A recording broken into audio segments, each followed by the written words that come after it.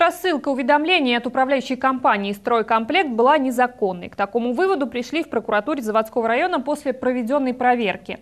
Напомню, скандальная ситуация возникла из-за того, что жители десятков домов заводского района начали получать долговые извещения с требованием оплатить мнимые задолженности перед бывшей управляющей компанией «Стройкомплект», а также перед ее дочерней фирмой «Континент-2011», о которой жители вообще никогда не слышали. Речь шла о суммах в десятки тысяч рублей с каждой каждой квартиры. Как установили в прокуратуре, данные абонентов стройкомплект передавал континенту незаконно, без согласия граждан. Нарушения коснулись порядка 14 тысяч граждан. Мы еще посмотрели обоснованность данных платежных поручений.